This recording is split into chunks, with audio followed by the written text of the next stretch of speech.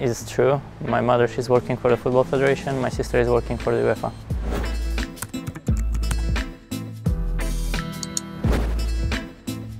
It's true that I've been in Brazil. I was training in the training ground of São Paulo when I was 13 years old. Um, I was training uh, with uh, Hernanes Anderson that was playing for Inter, for Juventus, for Lazio, and now I think he's in China.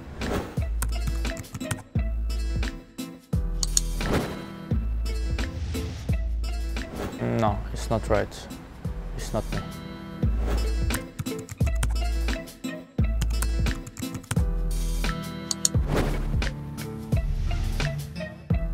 Um, they just changed the rules and they were just uh, awarding the players playing only in Armenian league.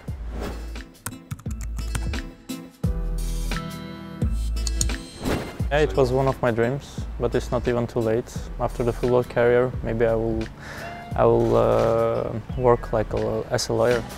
For more videos, subscribe.